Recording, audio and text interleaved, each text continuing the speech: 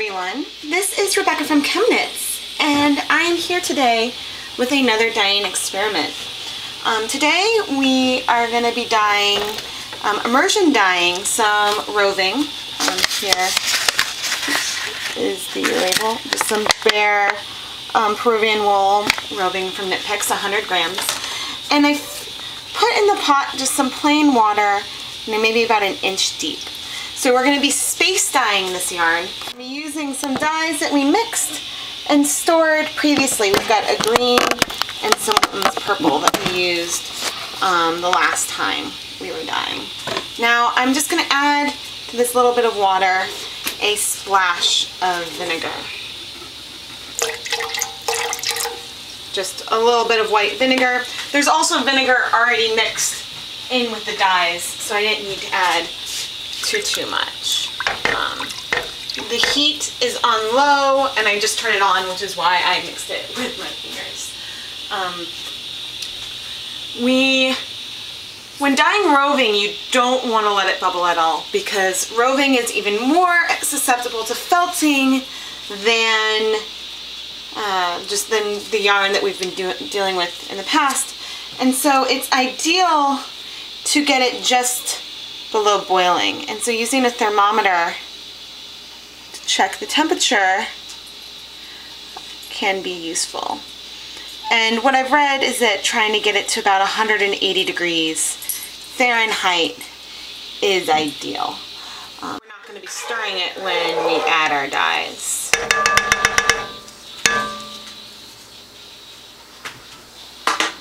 It's possible that this will go horribly wrong and I'll still felt the yarn. But, you know, we won't know unless we try. So as this is slowly warming up, I'm going to add the roving before it is too hot.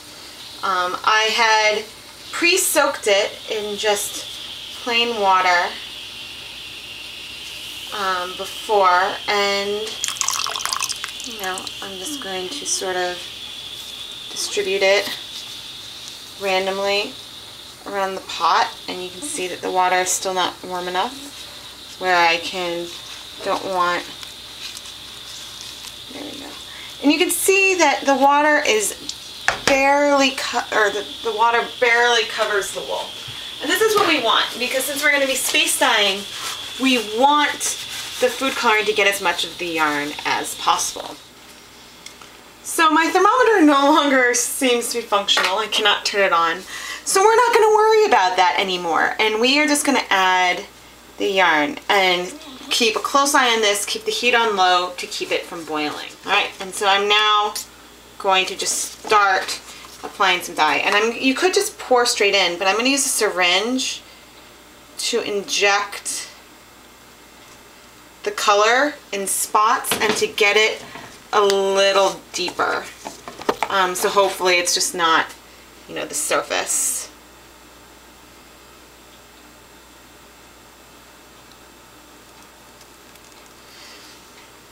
And so what's going to happen is the color will diffuse out, but should also remain somewhat local to where we place it.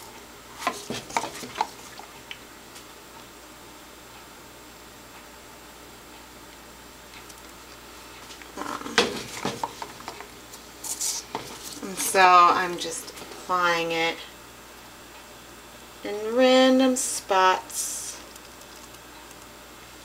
And you can already see, um, since this has a lot of Wilton's purple in it, and we talked about breaking purple last time, you can see the colors diffusing from where we place them.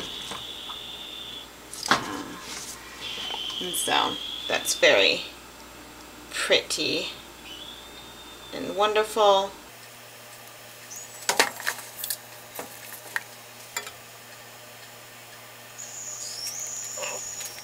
And, you know, the wool itself probably is not that warm yet.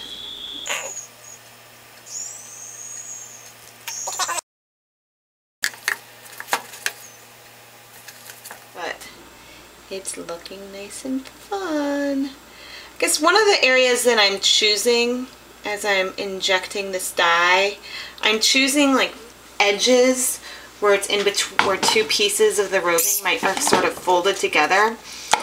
And the reason why I'm choosing to do this is I want the colors to be spread around as much as possible. And I really like it when I spin the yarn and there's a bit of a twist um, to it. And so, and that happens a lot when, you know, there's multiple colors mixed on one spot. It's so fun how it looks very, very blue when you first add it. But then slowly, colors change. All right. And since this is all getting mixed together in one pot, when I start adding the second color, which is a green, and it's probably a lot less um, concentrated than the purple, I'm not going to bother to wash the syringe. Um, so.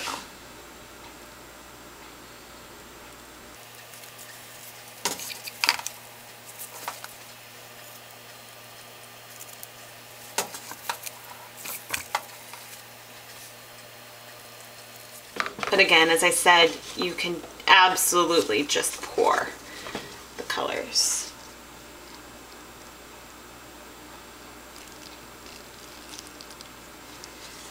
And we're agitating as little as possible.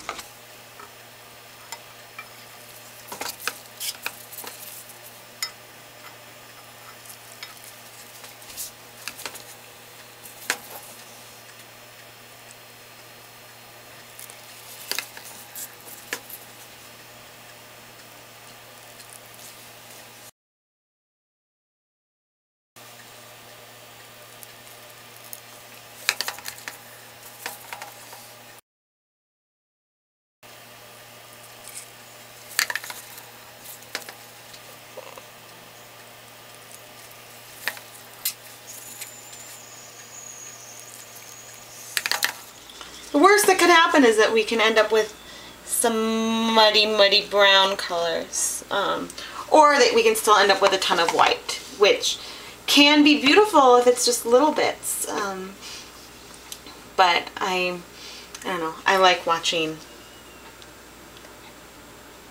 colors spread out.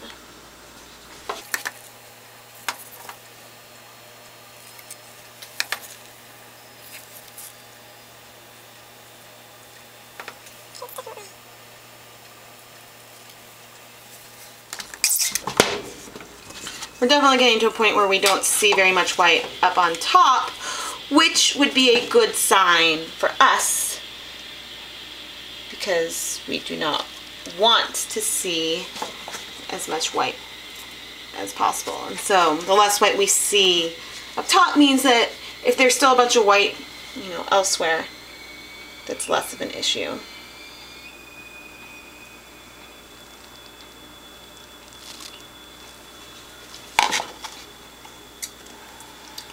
Course, doing these more superficial covers up here.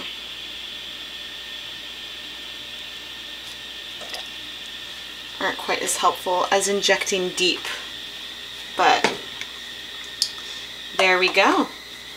We now have color all over the entire top. And so I am to closely monitor this to make sure it doesn't start boiling hard. I'm going to put a cover on the pot and let this sit for 10 minutes and then we'll be back. It has been 10 minutes and it does not look like any of the water started to clear. Oh, I guess if I do that you can't see, but if I gently push in an area you can see that there's color on top of the spatula. And that's not what we want.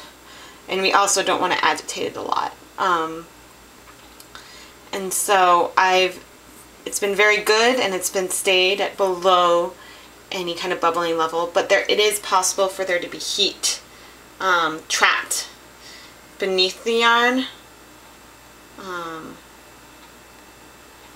and so that's not something that we want. Um, you know, because we don't want there to be excess heat and I really don't want to end up with a felted mess. Um, but we will let this um, sit another 10 minutes. It's maybe been a little longer than to a total of 20 minutes because I sort of forgot about it.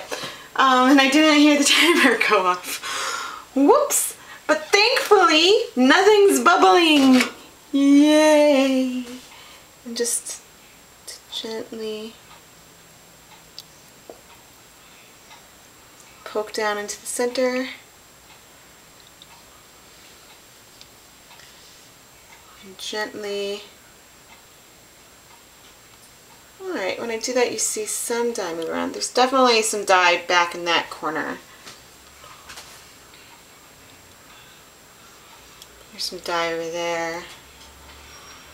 Okay, so we're mostly, well of course it's bluish. The whole thing is, is blue. Um, Alright, well I am going to let this go at this level of heat for another 20 minutes. So we'll let it go for 40 minutes total and then we'll be back.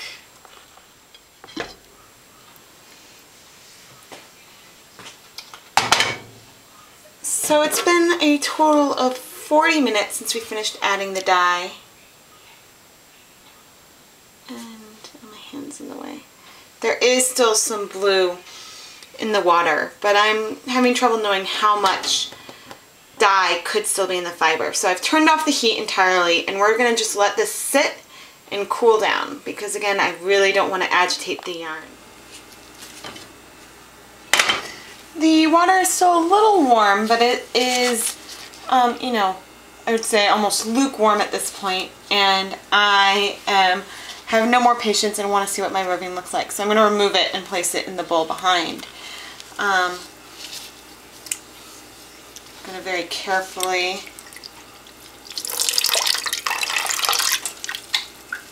remove it. I'm, I'm not removing as much water as I necessarily would have liked. But again, I don't want to agitate the fibers. And so my shadow is in the way. We can see that we did get good coverage of the color, but I'm going to let this cool off completely before we rinse it out. So our space dyed roving is drying nicely and I am proud to say that it is definitely not felted. It feels just as fluffy and ready to spin as any other roving that I've ever dyed. Um, and so I guess this is my third or fourth.